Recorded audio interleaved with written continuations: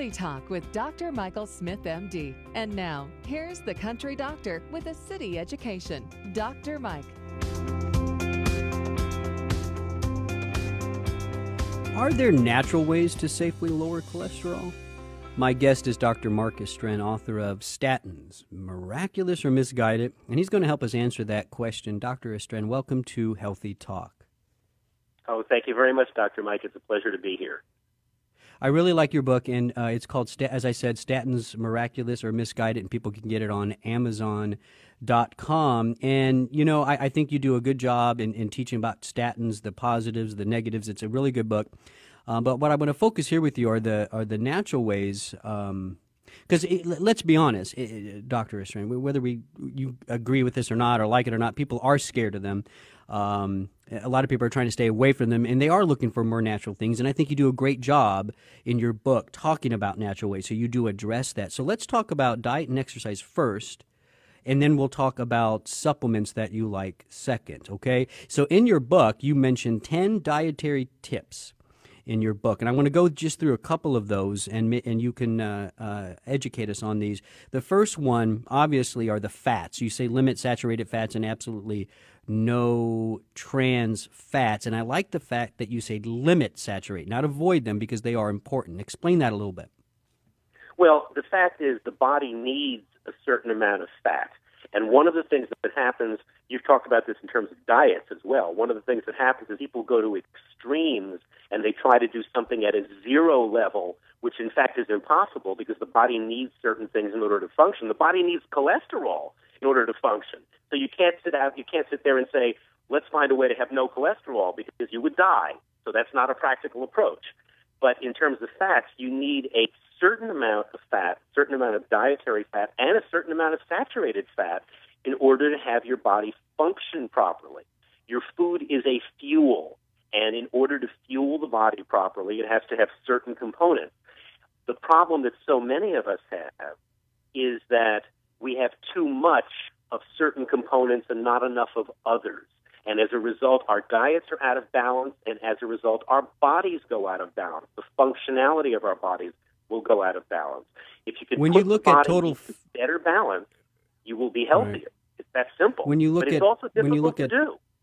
Yeah, when you look at total fats, when you look at like how much fat I'm eating, is there a percent you like? Uh, eighty percent unsat, twenty percent well, saturated. If, is there some can, some ratio you?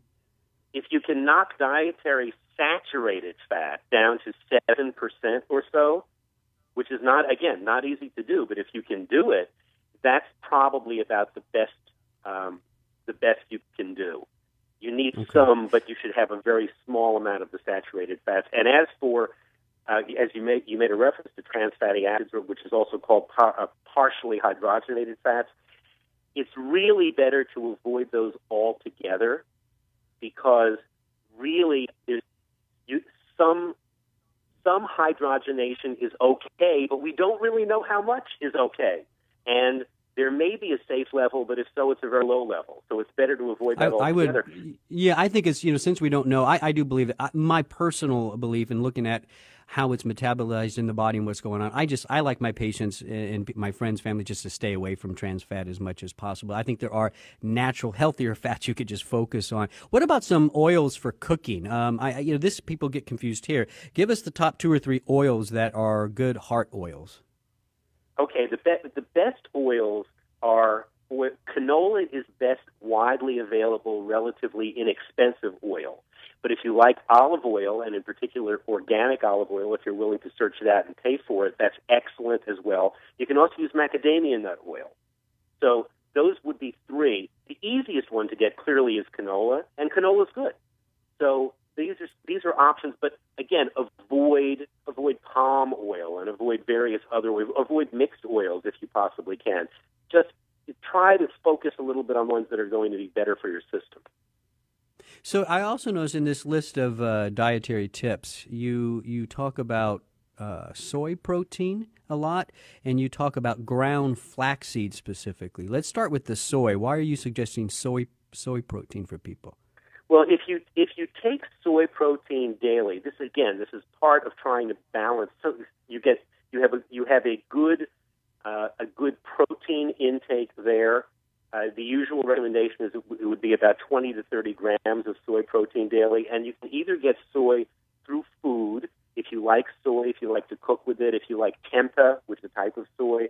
Uh, if you prefer to use protein powder, you can use you can put soy protein powder in uh, in smoothies, or, for example, and that is it's a good protein, and it's it is one that is not going to raise uh, cholesterol, and that is going to be again, it's just better for body, and it's a better okay. way than using than consuming saturated fat. Now, why the ground flaxseed? Because be- prior to that, in your book, you talk about omega three foods and the, and the importance of omega three oils, and then you have this whole section just on ground flaxseed. Is it is there more to flax than just the omega three there, the nice omega six, omega three balance? I mean, what is it about flax that made you write a whole little section on it? Well, the, the thing about the thing about flaxseed is that uh, in a lot of the things that we're talking about now are best done in combination. It would not make a lot of sense to have a quarter cup of ground flaxseed every day and ignore all the other possibilities, including the omega 3s and including soluble fiber and including nuts. Nuts are a wonderful dietary supplement, uh, component of diet. So, really, this is a matter of changing your overall attitude toward food consumption, toward the way you fuel your body. So you should not take any one of these suggestions or recommendations out of context and say, well, I'll load up on ground flaxseed and that's going to be really wonderful. What we haven't talked about is the primary recommendation that uh, that lots of people, including me and probably including you, recommend, which is a significant increase above what most people use as their intake of fruits and vegetables. Because the use right. of produce right. Way above is what, so important right. on so many levels. Five to seven daily servings, nine daily servings. Many people would recommend. This is the this more the better. Really good the more stuff. the better. Yeah. Absolutely. Yeah, absolutely. Absolutely. I, you know, I, I wanted to go into things, exercise. Yeah, go ahead. I was just going to say the rest. The rest of these things are almost supplementary. If you if you have seven right. to nine right. daily servings of fruits and vegetables, and you don't have any ground flaxseed, that's fine. Right. Okay. So the main thing we got to get those fruits and vegetables in. Watch those oils you cook with, the omega threes. Uh, you know, and a nice balanced approach to things. I wanted to talk about exercise, but we're going to move on because I want to get to the supplements. So I'm going to say one thing about exercise. We need to do it more. Right. Everybody, listening, get out, move, sweat. We gotta we gotta burn some of that excess calories. That's going to help. Let's go into the supplements then uh, for lowering cholesterol. Give me, Dr. Estren, your top three supplements for lowering well, cholesterol. Well, I, I will. I'll throw a couple of these at you, uh, and just so you know, the material in the book is actually drawn from multiple sources, and I was trying not to specifically endorse one source over another. But you have correctly perceived that I do believe that supplementation is important, and that it's a good idea to have certain kinds of foods and consume certain kinds of nutrients rather than others. Um, red yeast rice extract. Now, that sounds like something very exotic, but in fact it's not. It's a little bit exotic in the United States and in North America, but in China and Japan it's very, very common and it's common commonly used by Asian Americans in the United States as well. It's it's right. a food preservative. Uh, it it contains an ingredient that inhibits an enzyme that is involved in cholesterol synthesis. Right. In other words, so that's red yeast rice. Yeah, so that's red yeast rice, and it has the same component as what you find in statin medications called lovastatin. Give me, you got about 15 more seconds. Give me another supplement you like beside red yeast rice.